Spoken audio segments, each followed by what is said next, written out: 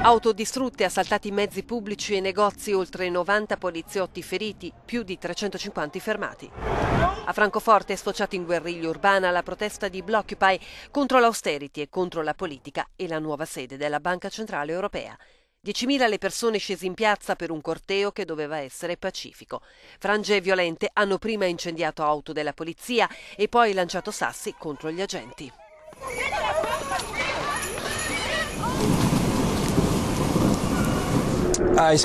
Penso che la Banca Centrale Europea sia lo status symbol della politica monetaria in Europa, dice questo manifestante, per la potenza che rappresenta. Ecco perché siamo venuti qui.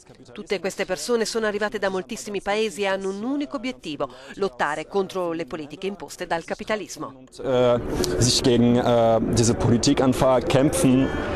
Nonostante gli scontri, nella città tedesca la nuova sede della Banca Centrale Europea è stata comunque inaugurata. Si tratta di un enorme edificio alto 185 metri con due torri, un'opera del valore di oltre un miliardo di euro.